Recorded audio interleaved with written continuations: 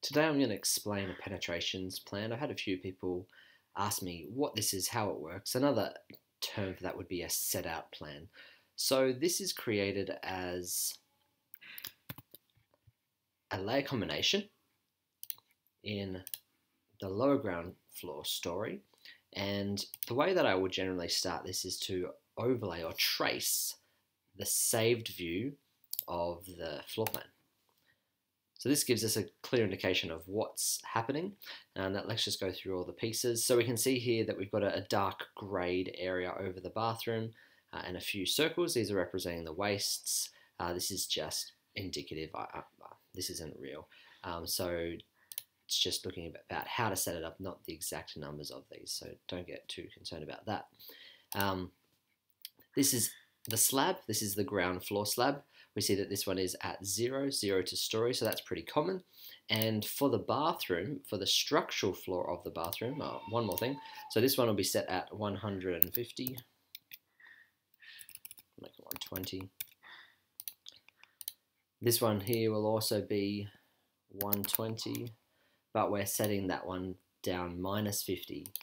So we're recessing the bathroom so that way the tile screed will end up matching with the surface level of the main floor, most importantly, at the doorway. The other area that we need to look at in terms of heights is the beam. And so this is our drop edge beam around the outside edge. In this instance, we're looking at a, a Bondek slab. And so the Bondek slab and the foam outside and the 10 mil inside for um, render or plasterboard is also is also set down, and that's just to give a little bit of tolerance. And that can then be grout filled or something after.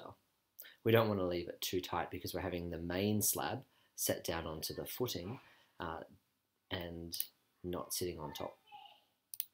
In this instance, sometimes it's done differently.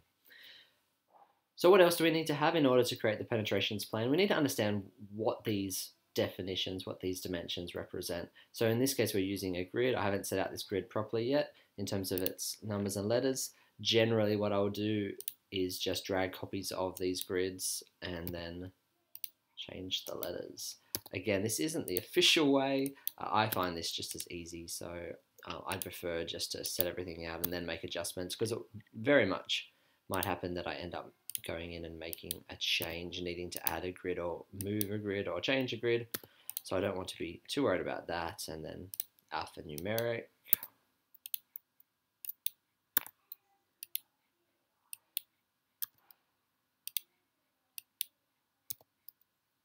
And so on. I'll leave that for now. Uh, we're just focusing on a small portion of this just to keep the video simple. Now the slab here, we're using a level dimension tool to set out the height of this and a level dimension tool to set out the height for this. These are automatic text so that allows us to update things as necessary. And we're just using a, a cover fill, cover fill 25%, which allows us to still be able to see through for the trace reference uh, but also to be able to, when it's turned off, be able to articulate the different levels. So the set down drop edge, the main slab, and the set down area for the bathroom. So this is what we could call a penetrations plan in that it's looking at the floor penetrations, in this case for uh, sanitary wastes and floor wastes. Uh, but we could also call it a set out plan. So who's looking at it? That's the most important thing. Uh, this needs to be understood and used by the plumber, by the concreter, and whoever's setting out. Maybe that's a formwork maker, or uh, that might be the concreter anyway. So they need to understand what, where all these dimensions are. So this plan is particularly for them. And in terms of the contractor, it's explaining the relationship of the grid, which will then also relate to every other level as well. And so this grid runs all the way through, and that helps to tie both stories together, as well as a common floor plan, a, a general arrangement floor plan, and a more specific plan like this, penetrations or setup plan, and then of course we'll have other things like reflected ceiling plans, electrical lighting plans,